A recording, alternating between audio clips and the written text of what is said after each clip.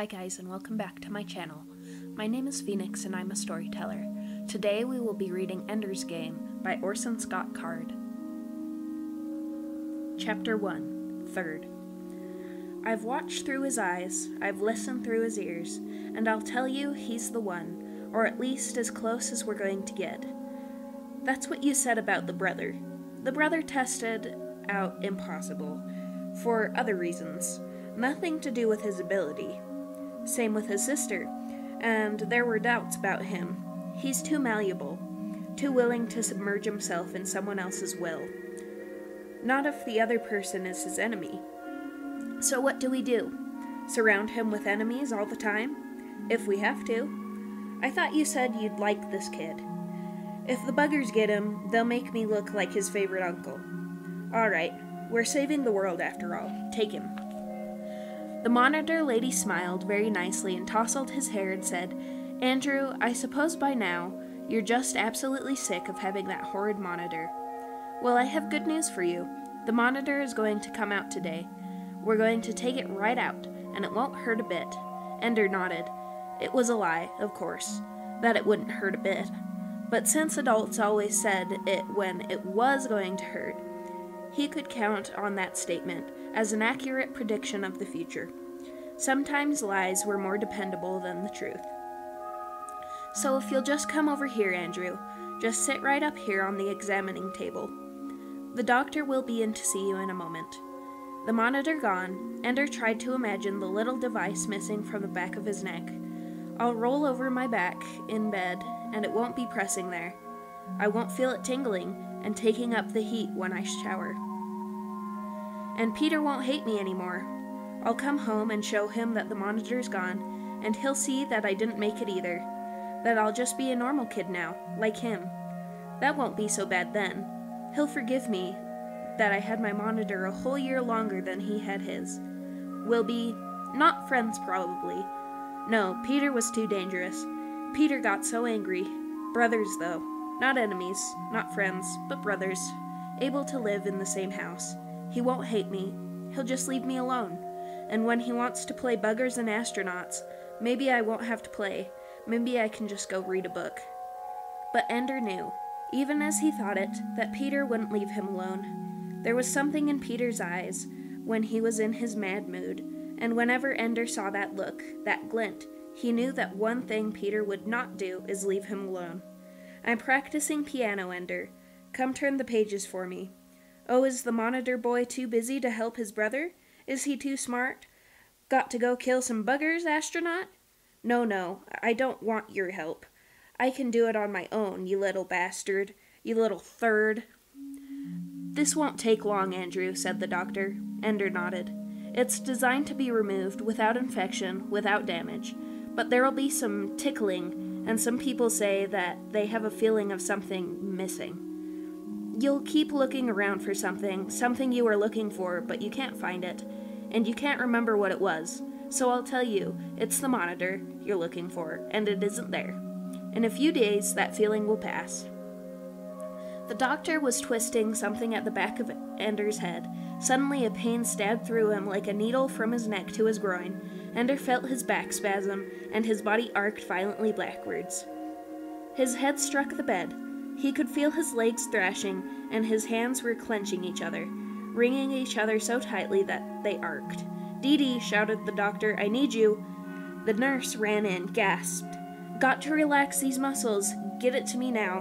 What are you waiting for? Something changed hands. Ender could not see. He lurched to one side and fell off the examining table. Catch him, cried the nurse. Just hold him steady. You hold him, doctor. He's too strong for me. Not the whole thing, you'll stop his heart. Ender felt a needle enter his back just above the neck of his shirt.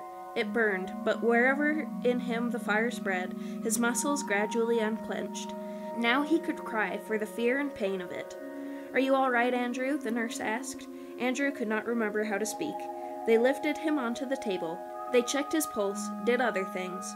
He did not understand it all. The doctor was trembling, his voice shook as he spoke. They leave these things in the kids for three years. What do they expect? We could have switched him off.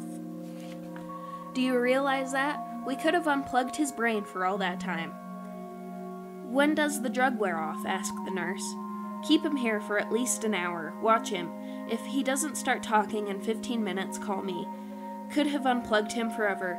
I don't have the brains of a bugger. He got back to Miss Pumphrey's class only 15 minutes before the closing bell. He was still a little unsteady on his feet. Are you all right, Andrew? asked Miss Pumphrey. He nodded. Were you ill? He shook his head. You don't look well. I'm okay. You'd better sit down, Andrew. He started towards his seat, but stopped. Now, what was I looking for? I can't think. I can't think what I was looking for. Your seat is over there, said Miss Pumphrey. He sat down, but it was something else he needed. Something he had lost. I'll find it later. Your monitor, whispered the girl behind him. Andrew shrugged. His monitor, she whispered to the others. Andrew reached up and felt his neck. There was a band aid. It was gone. He was just like everybody else now. Washed out, Andy? asked a boy who sat across the aisle from him. Couldn't think of his name. Peter? No, that was someone else. Quiet, Mr. Stilson, said Miss Pumphrey. Stilson smirked. Miss Pumphrey talked about multiplication. Ender doodled on his desk, drawing contour maps of mountainous islands, and then telling his desk to display them in three dimensions from every angle. The teacher would know, of course, that he wasn't paying attention, but she wouldn't bother him. He always knew the answer, even when he thought he wasn't paying attention. In the corner of his desk, a word appeared and began marching around the perimeter of the desk. It was an upside down and backwards at first. But Ender knew what it said long before it reached the bottom of the desk and turned right side up. Third. Ender smiled. He was the one who had figured out how to send messages and make them march. Even as his secret enemy called him names, the method of delivery praised him. It was not his fault he was a third. It was the government's idea. They were the ones who authorized it. How else could a third like Ender have gotten into school? And now the monitor was gone, the experiment entitled Andrew Wiggin hadn't worked out after all. If they could, he was sure they would like to rescind the waiver that had allowed him to be born at all. Didn't work, so erase the experiment. The bell rang. Everyone signed off their desks or hurriedly typed in reminders to themselves. Some were dumping lessons or data into their computers at home. A few gathered at the printers while something they wanted to show was printed out. Ender spread his hands over the child sized keyboard near the edge of the desk and wondered what it would feel like to have hands as large as grown ups. They must feel so big and awkward, thick, stubby fingers and beefy palms. Of course, they had bigger keyboards, but how could their thick fingers draw a fine line the way Ender could?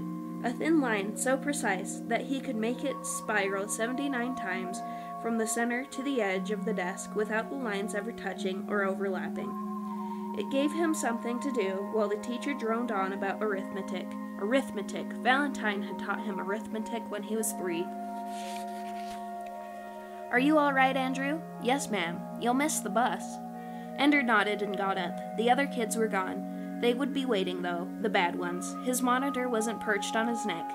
Hearing what he heard and seeing what he saw, they could say what they liked. They might even hit him now.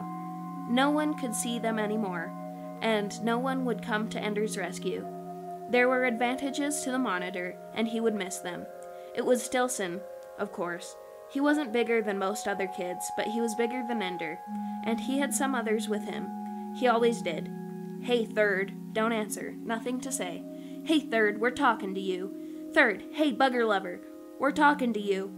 Can't think of anything to answer. Anything I say will make it worse, so we'll saying nothing. Hey, Third, Hey, turd, you flunked out, huh? Thought you were better than us. But you lost your little birdie, 30. Got a band aid on your neck.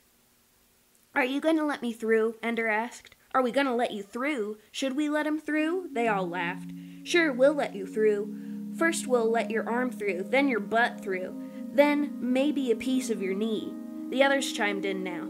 Lost your birdie, 30. Lost your birdie, 30. Stilson began to push him with one hand. Someone behind him then pushed him toward Stilson. Seesaw, Marjorie Daw, somebody said. Tennis, ping pong.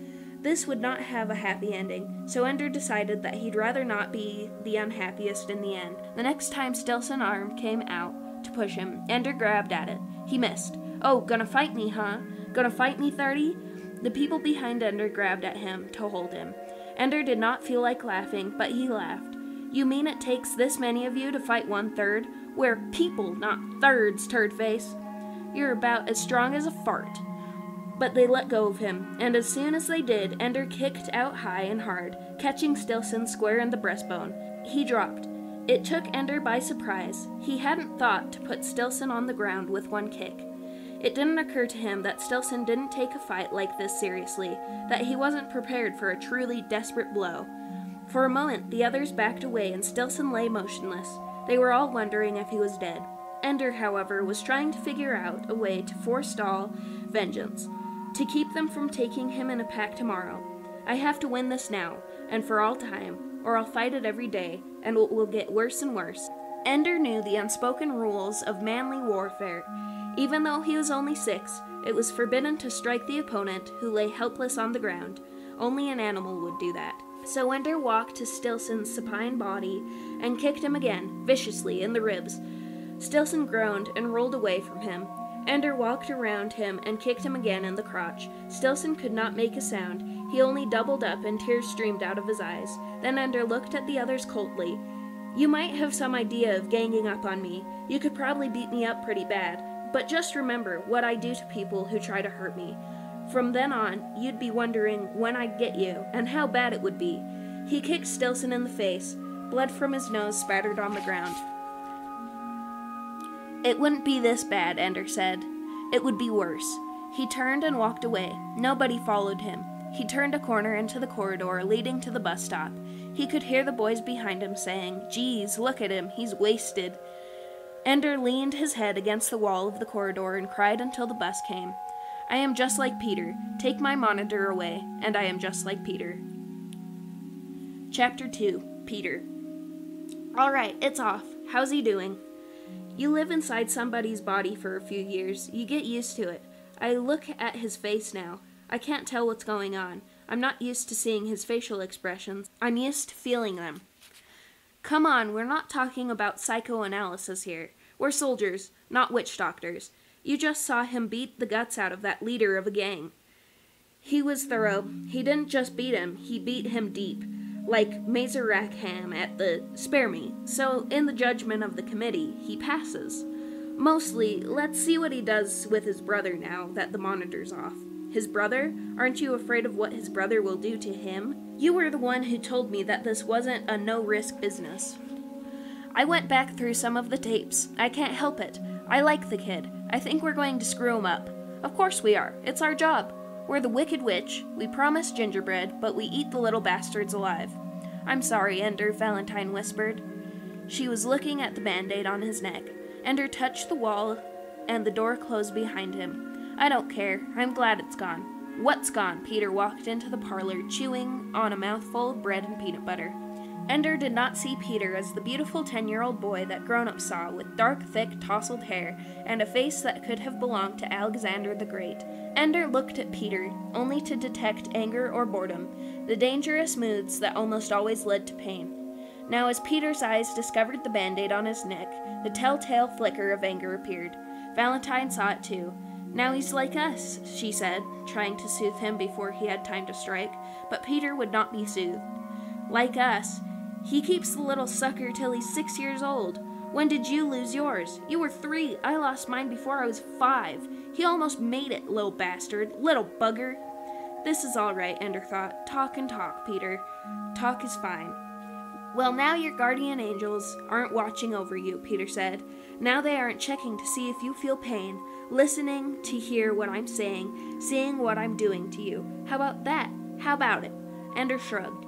Suddenly, Peter smiled and clapped his hands together in a mockery of good cheer. Let's play buggers and astronauts, he said. Where's Mom? asked Valentine. Out, said Peter. I'm in charge. I think I'll call Daddy. Call away, said Peter. You know he's never in. I'll play, Ender said. You be the bugger, said Peter. Let him be the astronaut for once, Valentine said. Keep your fat face out of it, fartmouth, said Peter. Come on upstairs and choose your weapons. It would not be a good game, Ender knew. It was not a question of winning. When kids played in the corridors, whole troops of them, the buggers never won, and sometimes the games got mean. But here in their flat, the game would start mean, and the buggers couldn't just go empty and quit the way buggers did in the real wars. The bugger was in it until the astronaut decided it was over. Peter opened his bottom drawer and took out the bugger mask.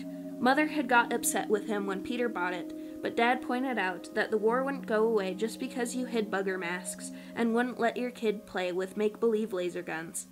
Better to play the war games and have a better chance of surviving when the buggers came again. If I survive the games, thought Ender, he put on the mask. It closed him in like a hand pressed tightly against his face, but this isn't how it feels to be a bugger, thought Ender. They don't wear this face like a mask, it is their face. On their home world, do the buggers put on human masks and play? And what do they call us? Slimies? Because we're so soft and oily compared to them? Watch out, Slimy, Ender said. He could barely see Peter through the eye holes. Peter smiled at him. Slimy, huh? Well, Bugger Wugger, let's see how to break that face of yours. Ender couldn't see it coming, except a slight shift of Peter's weight. The mask cut out his peripheral vision. Suddenly, there was pain and pressure of a blow to the side of his head. He lost balance, fell that way. Don't see too well, do you, Bugger? said Peter. Ender began to take off the mask. Peter put his toe against Ender's groin. Don't take off the mask, Peter said. Ender pulled the mask down into place, took his hands away. Peter pressed it with his foot. Pain shot through Ender. He doubled up. Lie flat, Bugger. We're going to vivisect you, Bugger. At long last, we've got one of you alive, and we're going to see how you work. Peter, stop it, Ender said. Peter, stop it. Very good. So you buggers can guess our names. You can make yourselves sound like pathetic, cute little children so we'll love you and be nice to you. But it doesn't work. I can see you for what you really are. They meant you to be human, little third, but you're really a bugger, and now it shows. He lifted his foot, took a step, and then knelt on Ender's knee, pressing into Ender's belly, just below the breastbone. He put more and more of his weight on Ender. It became hard to breathe. I could kill you like this, Peter whispered. Just press and press until you're dead, and I could say that I didn't know it would hurt you, that we were just playing, and they'd believe me, and everything would be fine, and you'd be dead, everything would be fine. Ender could not speak. The breath was being forced from his lungs. Peter might mean it. Probably didn't mean it, but then he might. I do mean it, Peter said. Whatever you think, I mean it. They only authorized you because I was so promising, but I didn't pan out. You did better. They think you're better, but I don't want a better little brother, Ender. I don't want a third. I'll tell, Valentine said from the doorway. No one would believe you. They'd believe me. Then you're dead too, sweet little sister. Oh, yes, said Valentine. They'll believe that. I didn't know it would kill Andrew, and when he was dead, I didn't know it would kill Valentine, too. The pressure let up a little. So, not today, but someday, you two won't be together, and there'll be an accident. You're all talk, Valentine said. You don't mean any of it. I don't. And do you know why you don't mean it? Valentine said. Because you want to be in government someday. You want to be elected, and they won't elect you if your opponents can dig up the fact that your brother and sister both died in suspicious accidents when they were little, especially because of the letter I've put in my secret file in the city library, which will be opened in the event of my death. Don't give me that kind of crap, Peter said. It says I didn't die a natural death. Peter killed me, and if he hasn't already killed Andrew, he will soon. Not enough to convict you, but enough to keep you from ever getting elected. You're his monitor now, said Peter. You better watch him, day and night. You better be there. Ender and I aren't stupid. We scored as well as you did on everything. Better on some things. We're all such wonderfully bright children. You're not the smartest, Peter, just the biggest. Oh, I know. But there'll come a day when you aren't there with him. When you forget, and suddenly you'll remember and you'll rush to him, and there'll be perfectly all right. And next time you won't worry so much, and you won't come so fast and every time he'll be all right, and you'll think that I forgot. Even though you'll remember that I said this, you'll think that I forgot. And the years will pass, and then there'll be a terrible accident, and I'll find his body, and I'll cry and cry over him. And you'll remember this conversation, Valley, but you'll be ashamed of yourself for remembering, because you'll know that I changed. That it really was an accident, that it's cruel of you to even remember what I said in a childhood quarrel. Except that it'll be true. I'm gonna save this up, and he's gonna die. And you won't do a thing, not a thing, but you go on believing that I'm just the biggest. The biggest asshole, Valentine said. Peter leapt to his feet and started for her. She shied away. Ender pried off his mask. Peter flopped back on his bed and started to laugh, loud but with real mirth, tears coming to his eyes. Oh, you guys are just super. Just the biggest suckers on the planet Earth. Now he's going to tell us it was all a joke, Valentine said. Not a joke, a game. I can make you guys believe anything. I can make you dance around like puppets. In a phony monster voice, he said, I'm going to kill you and chop you into little bits and put you into the garbage hole. He laughed again. Biggest suckers in the solar system. Ender stood there watching him laugh and thought of Stilson. Thought of how it felt to crunch into his body. This is who needed it. This is who should have got it. As if she could read his mind, Valentine whispered, No, Ender. Peter suddenly rolled to the side, flipped off the bed, and got into position for a fight. Oh, yes, Ender, he said. Any time, Ender. Ender lifted his right leg and took off his shoe. He held it up. See there on the toe? That's blood, Peter. It's not mine. Ooh, ooh, I'm gonna die, I'm gonna die. Ender squished a caterpillar, and now he's gonna squish me. There was no getting to him. Peter was a murderer at heart, and nobody knew it but Valentine and Ender. Mother came home and commiserated with Ender about the monitor. Father came home and kept saying it was such a wonderful surprise. They had such fantastic children that the government told them to have three, and now the government didn't want to take any of them after all. So here they were, with three. They still had a third, until Ender wanted to scream at him. I know I'm a third, I know it. If you want, I'll go away, so you don't have to be embarrassed in front of everybody. I'm sorry I lost the monitor, and now you have three kids, and no obvious explanation. So inconvenient for you. I'm sorry, sorry, sorry. He laid in bed, staring upwards into the darkness. On the bunk above him, he could hear Peter turning and tossing restlessly. Then Peter slid off his bunk and walked out of the room. Ender heard the hushing sound of the toilet clearing. Then Peter stood silhouetted in the doorway. He thinks I'm asleep, He's going to kill me. Peter walked to the bed, and sure enough, he did not lift himself up to his bed. Instead, he came and stood by Ender's head. But he did not reach for a pillow to smother Ender. He did not have a weapon. He whispered, Ender, I'm sorry. I'm sorry. I know how it feels. I'm sorry. I'm your brother. I love you. A long time later, Peter's even breathing said that he was asleep. Ender peeled the band aid off his neck, and for the second time that day, he cried. Thank you for listening. If you enjoyed this video, be sure to subscribe and hit the bell icon so you can be notified when I post more great stories like this. Have a suggestion for a book? Be sure to leave it in the comments and maybe it will appear in a video. Thanks for listening. Bye!